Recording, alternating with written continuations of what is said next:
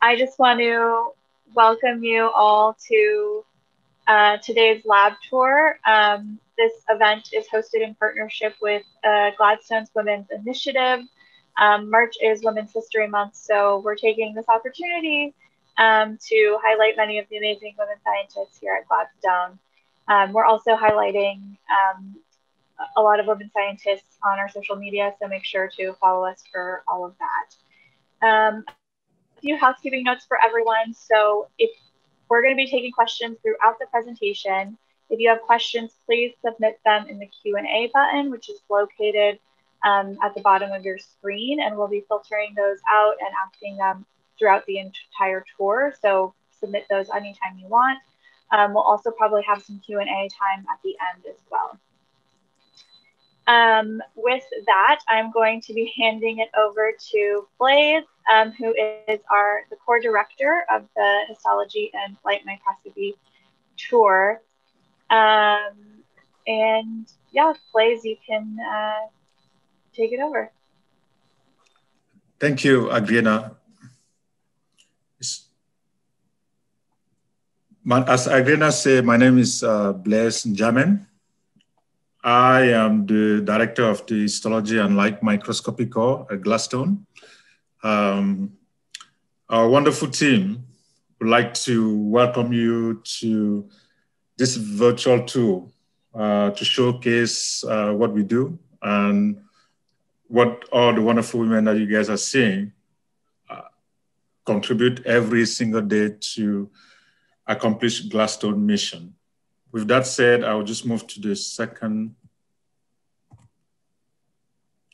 move to next page. Sorry, one second. Oops, good. So the histology, uh, first of all, I will, I would like to remind people that um, Gladstone vision uh, is to overcome um, is to overcome unsolved diseases through transformative biomedical research. And uh, the histology unlike light microscopy core actually um, helped, help to achieve this vision uh, by providing uh, technical assistance, training, consultation, and collaboration with all aspects of experimental design, sample preparation, image acquisition, processing, and data analysis. And also to do that, we, uh, the core is equipped with state-of-art technologies and expertise in histology, um, high resolution uh, imaging, confocal microscopy, uh, light sheet microscope, spinning disk, spinning disk microscopy, uh, and also uh, optical projection. So in the following slide, I will kind of summarize uh, what we do. First of all, when we mention histology, people remember, has to remember that uh, we have to remember that the stem of that word is uh, tissue, histo, tissue. Uh, microscopy means that we are kind of trying to visualize stuff that we cannot see through our naked eyes. So that's the goal. So basically what happened is that we have certain workflow at the core uh, usually people bring us biological sample to because they want to do the research or they're doing some clinical studies. Uh, and those uh, sample can be uh, the whole organism or part of those organism like organs or organoids, tissue, and cells. And you can see that that's all the building block of uh, an organisms. And those we could we could analyze them either live or fixed. So um, generally we have uh, three main workflow at the core. The first one is if we have like live cell, we can just uh, stain them with live uh, dye and then use microscope to image those uh, process and data analysis. This, the second process that is very important for us is um, when actually we cannot analyze live, uh, live tissue or organism, what we do is we have to uh, try to preserve those um, uh, biological sample uh, through the process of fixation. And that can be through um, coal or using chemical, like uh, uh, some chemicals, like ethanol, uh, methanol, paraformaldehyde. So after those tissue are preserved, what we do also is that usually they are very soft. What we do is we process them in a way that uh, it can be easy to cut them in pieces in order to visualize it because sometimes we cannot bring the whole the whole organism or the organ and put under the microscope. That's actually very small. So basically what we do is we when when we preserve those those uh, biological sample, we process them in a way that we can either um, put them in small block and cut them through sectioning before we stain and visualize it under the microscope. So this workflow, for example, today would be, you guys will, we will show, we'll kind of show you how we do it in daily life. Uh, the other way is that if we have the whole tissue, there are new uh, technology that are developing, basically itself, sectioning them, uh, we can just clear those tissue because one of the problem in um, histology and microscopy is that when you have thicker tissue, it's very difficult for light to go through. So basically what we do is we, we, use, we use chemical or other method to render that tissue clear so that we can image the whole, the whole thing and have all that volume and have volume imaging. So uh, that's why in, in the right, you can see that we kind of summarize all the services that we provide at the core. So we provide the histologies. So usually when we talk about histology, these are the process. And microscopy, uh, we provide both bright field, wide field, confocal, light sheet that I mentioned in the beginning. So that's um, using the microscope at the core of this section of our core. And the third part of our core is data analysis, right? So we, we analyze them and then the researcher will get those data, interpret them to either advance the research or um, find a way to cure diseases. So this is this slide is kind of an illustration of, of a practical illustration of what I've, I've said. So this is some of the instrument that we have at the core. And here is an example of live cell. So we can see how things are moving in the life, in a life in a cell. And also in a tissue. For example, here is a blood vessel, right? The, the, the, the dark matter there are like um, red blood cell moving, and we have some particle that are staining those tissue. So basically we go from either animals, we process them either live or fixed.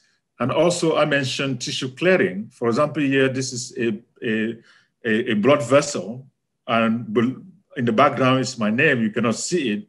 If we process them through tissue clearing, we can then image in large volume here. So, uh, so this is kind of that illustration where we can do live cell, live tissue, fixed cell, fixed, fixed cell, uh, fixed tissue, fixed tissues. We have new other techniques that we do. And also in the workflow, we have spatial staining. And this is very important for clinicians to, to detect uh, diseases. So we also offer that. Um, so that, that's basically the summary. And I put this slide in the beginning, but also put it at the end because behind all this work are great um, uh, team staff. And then I will pass, um, I will ask then two members, Roma and Anna, to take on and show you how the daily life go, how we, we, we do stuff in a daily basis. Thank you. Hi, thank you, Blaise. Hello, everybody. This is Anna, and Roma is filming me using the cell phone right now. Um, we are the research technologies, and also we have a third research technology, Pengram, who is right cutting right now, and I will introduce to you all to have. And here we have an example of uh, samples that uh, Blaise talked about. We have an eye here, which is very old. This is an example of sample. Uh, we have a mouse embryo. We get a lot of uh, tissue from mouse. Here we see a, a whole mouse embryo. And these are an other embryos that are in a, they are smaller because they are in a developing uh, stage that is earlier. So I'm, I'm going to show you how to, um, in case that we get uh, this kind of sample of embryo, what do we do in order to visualize the tissue of the embryo? That usually is the heart, but can be the brain. Um, so once we get the sample, the samples are fixed. And uh, as uh, Blaise told you, uh, we need to fix the tissue in order to preserve the, the morphology. It's the same as if you keep a, a beef steak in the refrigerator for a long time, it will smell and it will lose the structure. It will fall apart. We don't want this to happen to our samples. That's why we fix them. Usually we fix them with formalin, but there are other kind of fixatives that can be uh, freezing the sample. Once the tissue is uh, fixed, we place it in 70% ethanol and in 4 degrees. And we put this tissue in a cassette like this. We close the cassette. We put the cassette in 70% ethanol. And then we're going to process this tissue. And this is the tissue processor. This is like a washing machine or something like this what the tissue processor does is automatically goes through the, the processing, the processing. So first, what it does, it goes through a gradient of ethanol. It starts with 70% ethanol and then higher concentration until 100%. And in these steps, what we do, we remove the water from the tissue. And then we remove the ethanol from the tissue using a clarifying um, uh, region, which in this case is xylene. Xylene is really toxic. So the idea in the core now is moving um, forward to a more environmentally friendly regions. Uh, but for now, we still work with xylene. And with the xylene, we remove the ethanol. And we, uh, by removing ethanol, uh, we uh, allow uh, the wax to penetrate we are using paraffin. And with the paraffin, what we do is uh, we make the, the tissue harder uh, in order to cut it uh, in a thin, uh, very, very thin slice, slices. Uh, the thickness of these slices are usually five micrometers, microns. Uh, imagine a piece of paper, a regular piece of paper, uh, it's 100 microns. If you divide this thickness by 20, you will get the thickness of the slides of the tissue you want. So we put the cassette inside the processor like this. There is a rack and then we cover it. And then we we choose a, a, program, a routine program that depends on the size of the sample, the thickness, and the nature of the sample. The samples that have um, a lot of um, fat, usually they take more time. For example, the brain. And other samples like lung, it takes le less time. So we're going, for example, there are um, uh, processes it's a very old machine. So we go to here, process select, and then we push start and this it goes on. It can take from three hours to 17 hours. So usually we run the processor overnight. And then the next day, we take the sample out and this sample has no water anymore and it, it, there is a lot of, uh, the paraffin has been is it occupies the the place of the water. So, and then the tissue will look like this.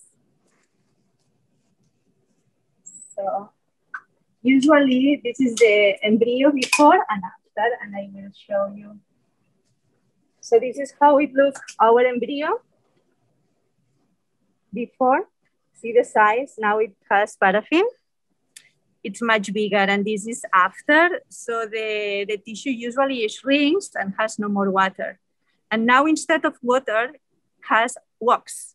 And this wax makes the tissue harder and easier to cut. So what we do now, we're going to use big molds. This is a mold, and we're going to use the same paraffin that is in the processor, the same wax. And we're going to embed the tissue. So an embedding is putting the tissue oriented the way we want. And then this is warm. So this is a hot plate and keeps the paraffin warm. And then we're going to put this paraffin that is warm and melted on a cold plate and see that the paraffin is getting whiter. And now I'm going to cover this embryo with the lower part of the cassette. And I'm going to wipe for it to get uh, totally hardened. Now it's still melted. And we will get something like this. So this is totally hardened. And now the tissue is embedded in a bed of paraffin wax. So now we can cut this tissue and it will not break. And also these blocks, we can keep these blocks for years. And the structure of the cells and the tissue, it's uh, very, very similar to the reality. It's a way to preserve the tissue. Fixing and uh, embedding it with paraffin by removing all the water and fat. So now we're going to the cutting room. This is Feng Chan. She's one of our technologists. She is really good cutting embryos and a small samples. She's amazing. So this is, we have two microtomes. The microtome is, is a device, a machine that is used to cut these super, super thin samples of paraffin sections. So we put the block here. Okay, and here we have a blade. And basically, it, this is a very simple machine. It goes up and down with a wheel here. and then we cut the uh, sections. I'm going to, to put a block that is already prepared for this. The blocks need to be very cold. That's from a second blocks, they need to be and nice in order to get the good sections. And then we go up and down until we get a ribbon. This is a very old section but sometimes they are dry. So see that we are getting a ribbon of tissue without a frame, and now it's getting the ribbon. Okay, so see, this is the ribbon. So each one of these uh, sections, they are five microns. We can cut it uh, even thinner, but usually five is the standard in this code. And then we put the sections here in a water bath and see that the, this is the tissue and this is the frame of paraffin. We're going to cut into and two sections is the, the standard as well for this size of samples. And then we're going to take a glass slide this is a special glass that uh, is charged uh, for the tissue to latch. And then we're going to, and see? So the, here we have the two sections, one and two. And now, as you can see, it's very tra transparent. So it's difficult to see the cells and the structures in the cells, how the cells are organized uh, in here. It's in there, but it's very difficult to see. That's why we are going to stain.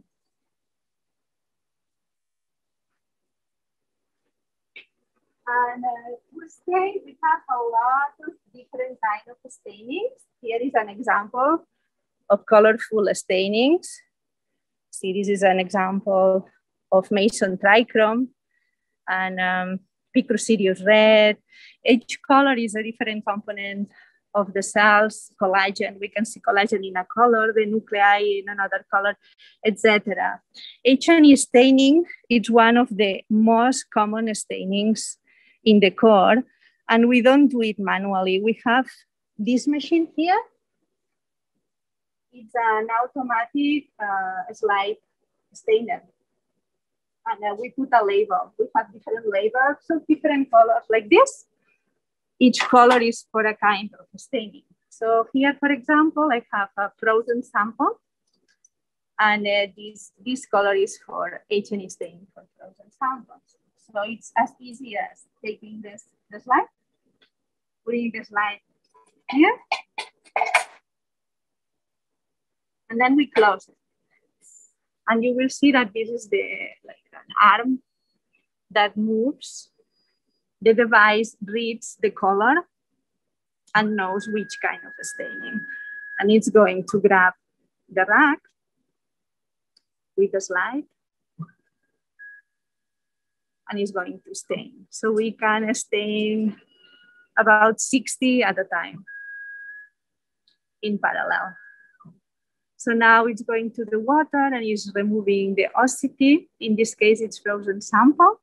But in the case of the paraffin, paraffin samples, we need to remove the paraffin, doing the opposite process, starting with xylene and finishing with ethanol and water. Okay. So when this machine is done, we have something like this. Usually we cover the sample and we use a cover of sleep medium, but sometimes we image without covering sleeping. And once we have uh, the samples fixed, we remove the water, we substitute the water with paraffin, or we freeze the samples in OCT, which is another process, and stain them. We have the samples ready to watch and uh, visualize them using the microscope to image them. So usually, um, this is a regular microscope it has the oculars here. So we, we take a look to the sample from here. We put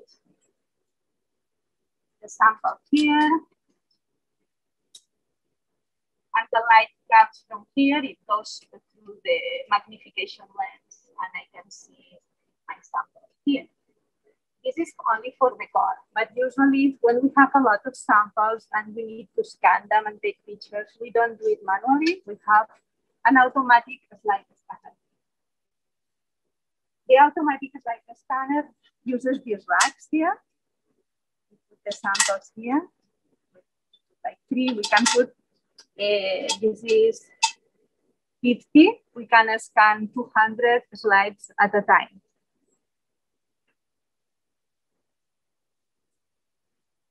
And uh, from here, Roma is going to show you how the slide scanner is used. Thank you, Anna.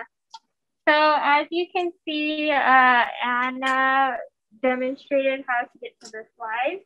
Once the slides are done, we have our imaging station. So this can do a lot of slides at a time, right? This holds up to 50 and we have four of them. So so maybe we can show the parts of the scope here. Yeah.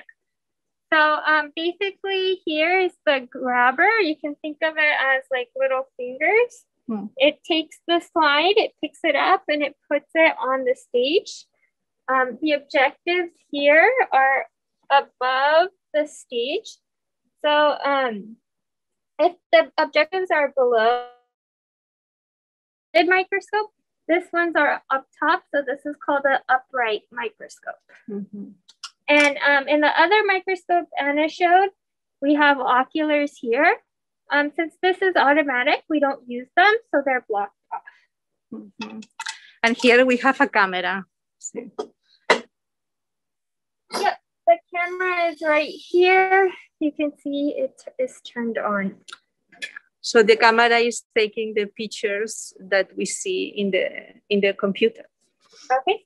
So now they're uh, generally in the core, we'll do what's called a pre-scan. So um, at high magnification, we don't want to scan the entire slide. Because most of the slide is empty space. So we do what's called a pre-scan. So we image it at very low magnification, and then we choose a specific area we want it to scan at a higher magnification. Okay, so Anna put in three slides. So I select one, two, and 3 mm-hmm. I have it to image at 10x, and then I press play. And you can see over there. Yeah, now it's going up and it's doing a calibration and counting the slides. It's going up. So this, this uh, microscope also can uh, be used for uh, with fluorescent uh, stain slides, which Blaise told you about, about it, that we can also see the structures that we cannot see because they are transparent uh, using fluorescent light. And now it's calibrating the stage. See how it's moving? It's pretty cool. And now it's going to take a picture of the label. So we never make mistakes here because we have the pictures of the label. We know always um, which sample is which.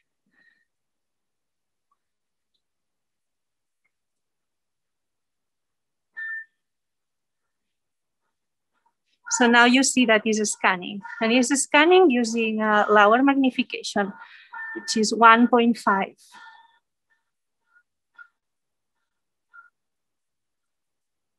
Okay, so now on the software, you can see we have a scan of the entire slide right? Um, it picks up any what it thinks it's tissue, which it's not always tissue. So here it thought the label was tissue.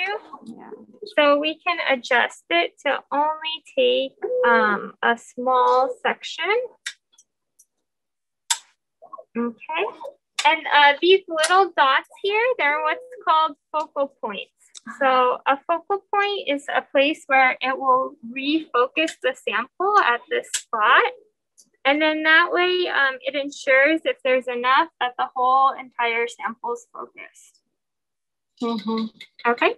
And then once we're happy with it, uh, we can press play on the 10x objective and it will scan on the 10x. Mm-hmm. And here we have some um, pictures from, from the other slides. We can open them. Uh, the imaging software we're using to view it is called ImageScope. And you can see here's the picture of the label. Show them the liver. This is liver. Oh, make sure it's on the camera. yeah, here's the label right here. So this is a liver sample. Mm -hmm. This is the out view over here. And so I can zoom in real close mm -hmm. and you can see there's green and the red. Mm -hmm. See here, the collagen is green, is red, the nuclei is uh, dark uh, green, bluish, and then this here you see these are the red blood cells. And uh, this is a kind of staining. We can stain the red blood cells in other kind of colors and also the collagen. There are lots of kind of uh, stainings that we are using here in the core. And also we have immuno immunofluorescence staining that maybe we could open one. Yeah. Here we have liver. This is a green one, and you can see the nuclei. Mm -hmm. They're kind of dark green. So see, we can see well the nuclei here. Yeah. And the connective tissue is dark in this case. And um, since these are colorful, uh, this is called a bright field image. They've talked about uh, fluorescence and bright field. The difference between fluorescence and bright field is bright field is used using white light. So this is the actual color of the sample when we looked at the slide. In fluorescence, if you look at the slide, the sample look itself looks clear, mm -hmm. but mm-hmm. when it's imaged, it's imaged in the dark, so it's on a black surface. Mm. So bright field has a white surface. And this is a pig skin.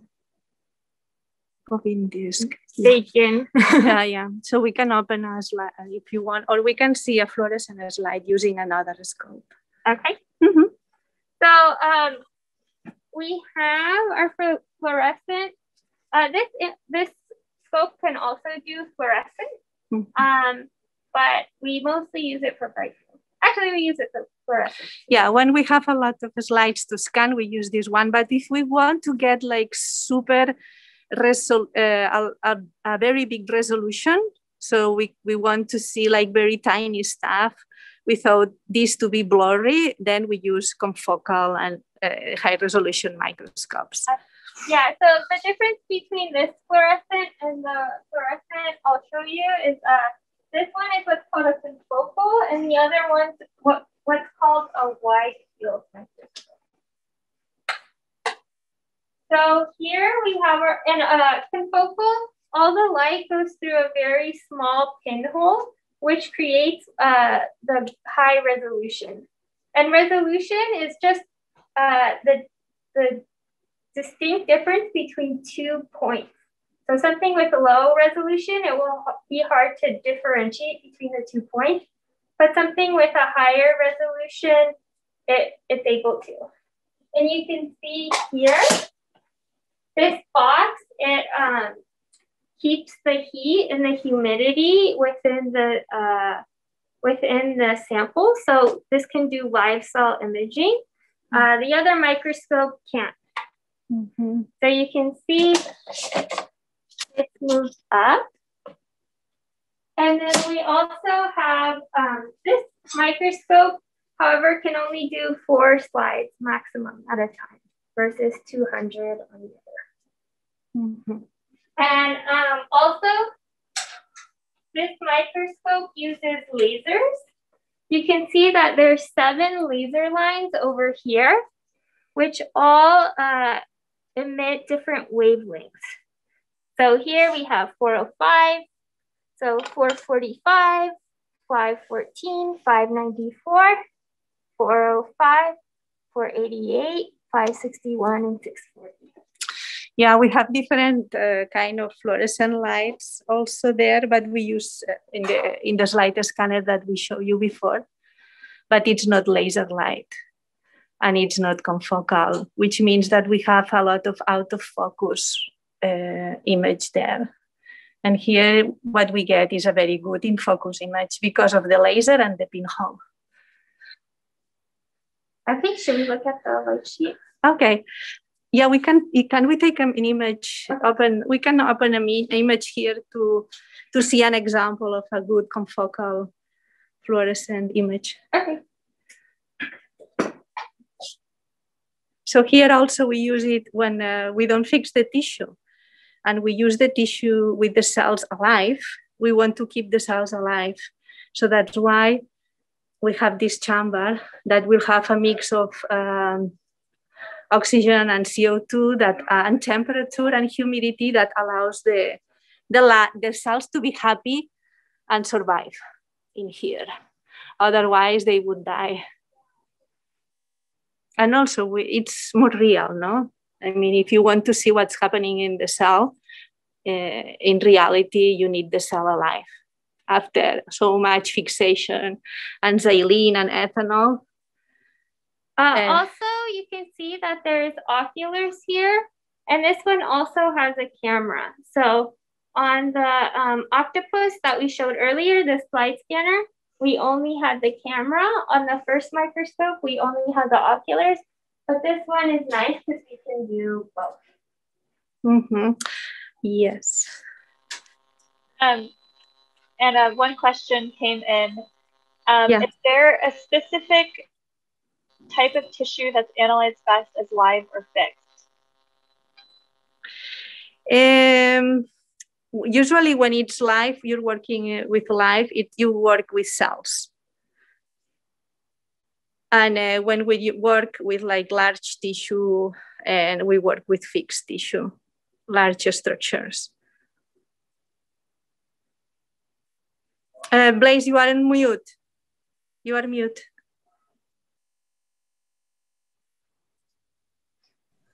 So I'll also try to add that uh, it depends on what people are looking, right? If you are looking at uh, live process, we can do from cell, tissue, uh, like embryo.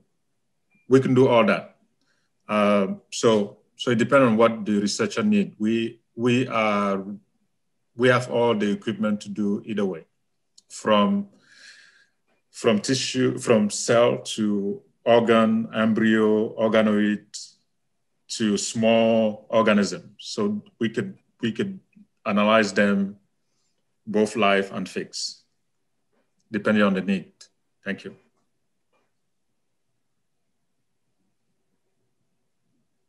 So now it's calibration. The stage is calibrating, it's moving around.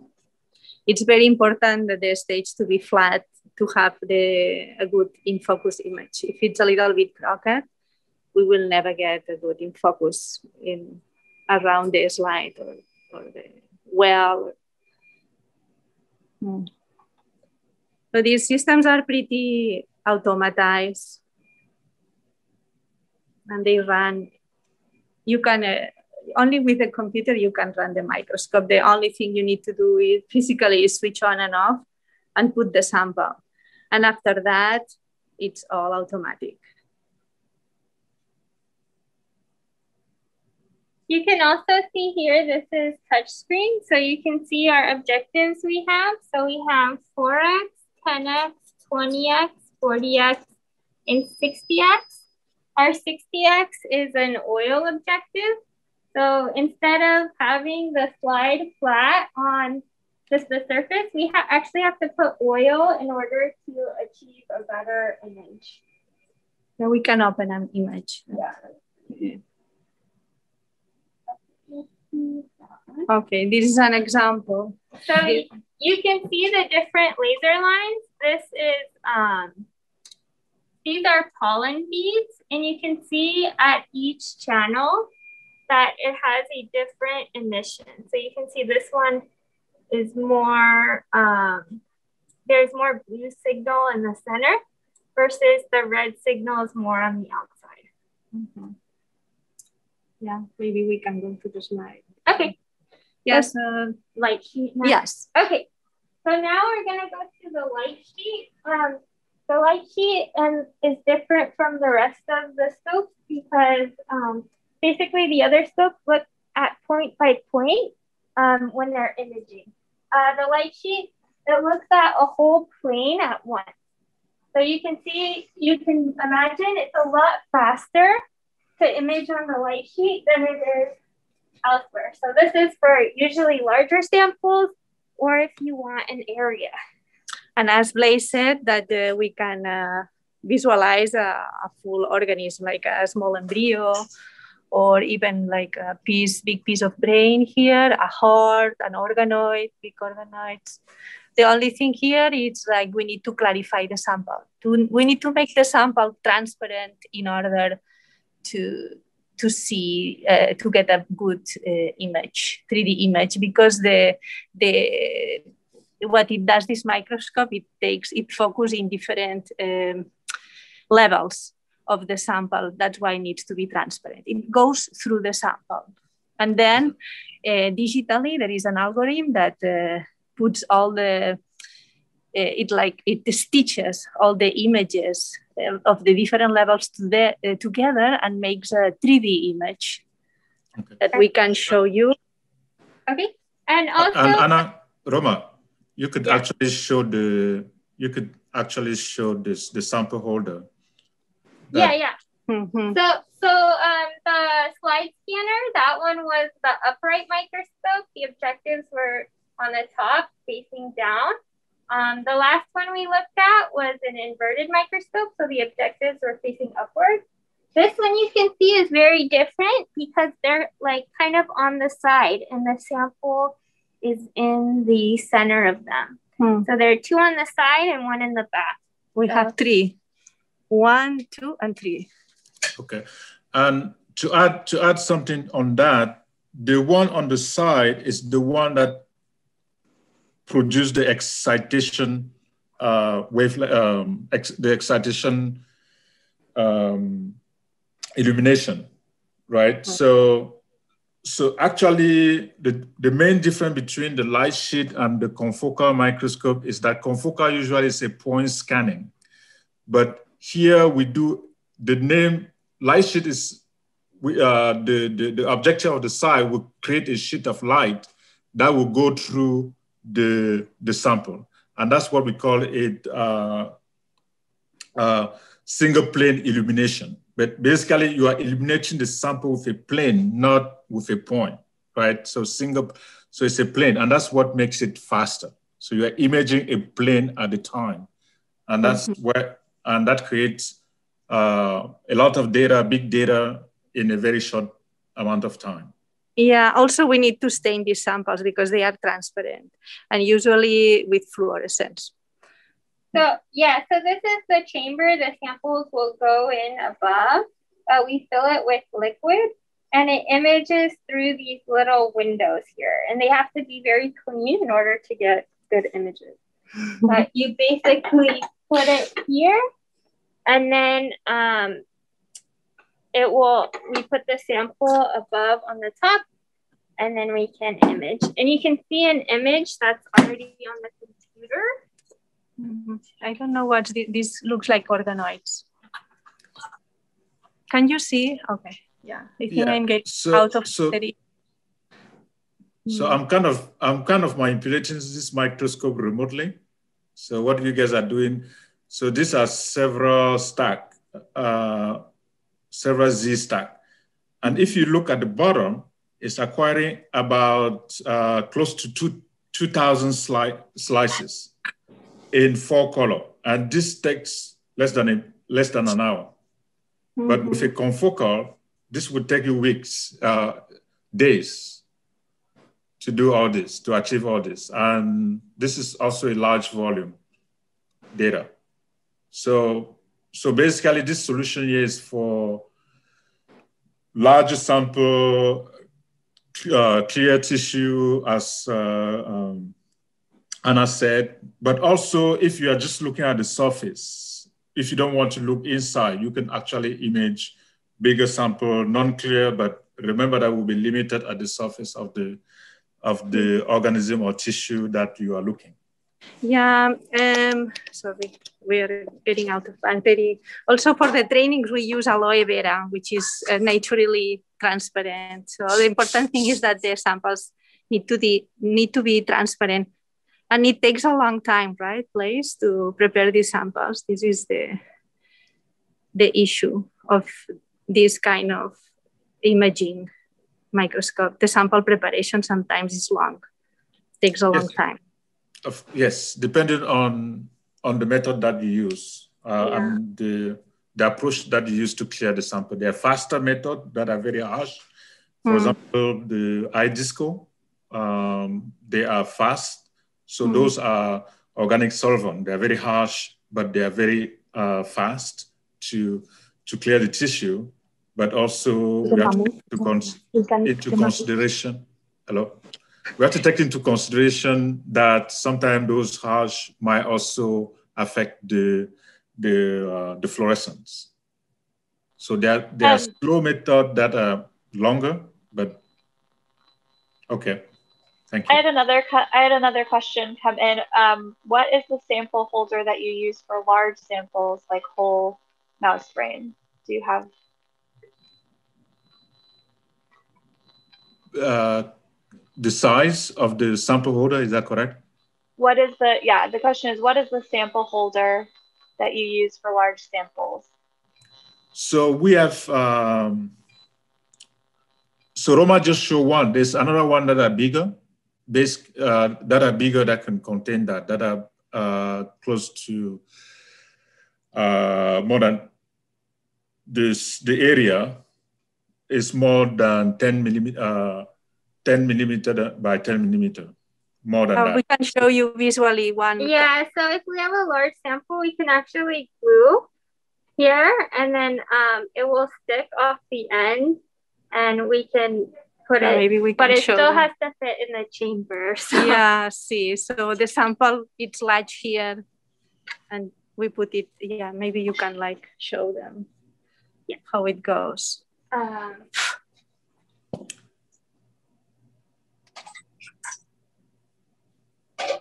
so, so yeah, basically we have this, we'll attach it here and then um, the sample will go down and we'll lower it to the objective.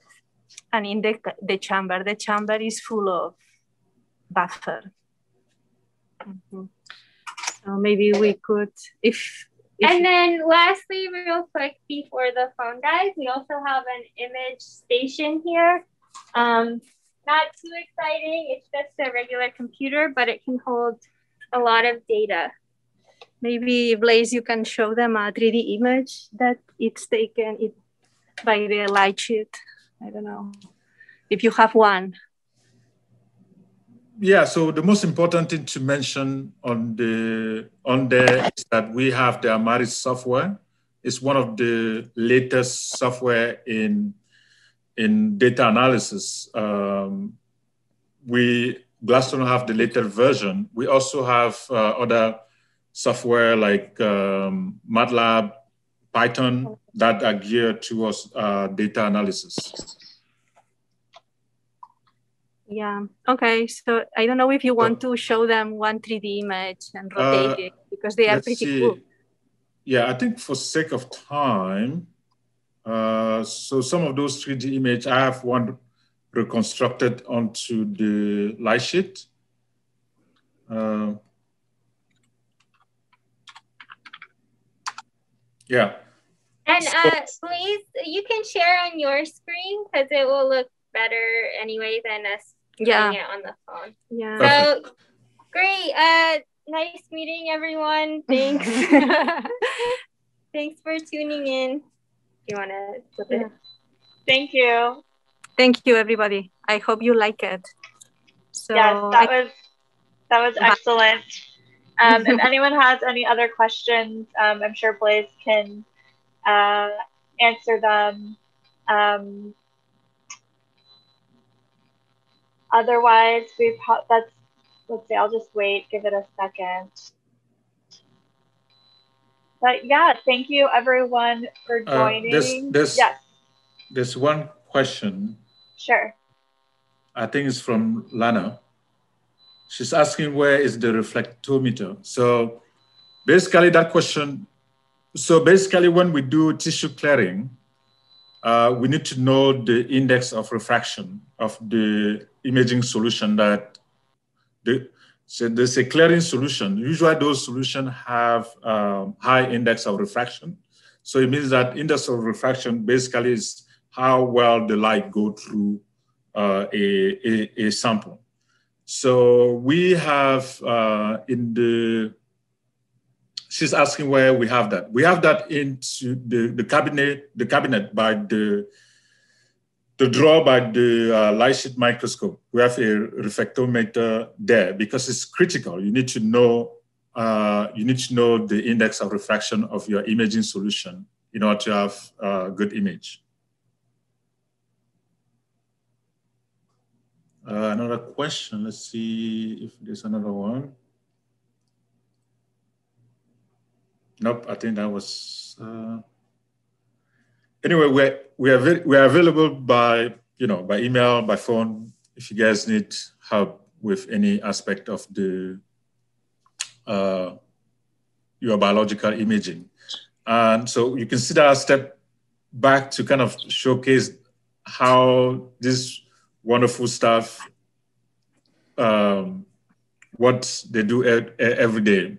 Uh, so we want to be. I want to be very thankful for them for all their service, and uh, in the spirit of uh, the Women Women Month, say thank you again for all the women with all the wonderful job that they do to advance science and our life in general. Yeah, and here you can see a cell rotating. It's a single cell to say bye to you all. It's pretty cool. yeah. Thank you. Thank you, everyone. And I'm sure if you have any further questions, um, the core would be happy to answer them. You can send us an email. Um, but thank you all for joining, and thank you especially to Anna and Roma for their tour. This was absolutely fabulous. Have a good, good rest of your day, everyone. Bye. The same. Bye. Bye, everybody. Thank you. Thank you.